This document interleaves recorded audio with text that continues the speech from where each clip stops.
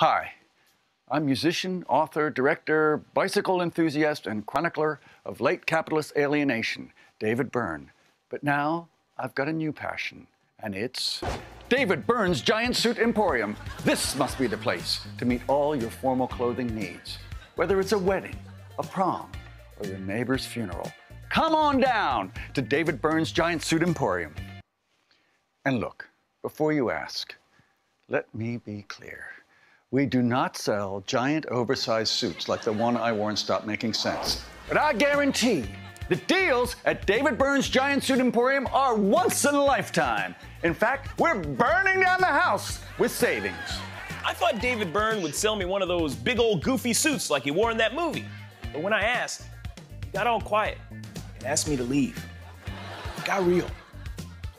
So come on down David Byrne's giant suit emporium. I guarantee you're going to look fa- fa- fa- fa- fantastic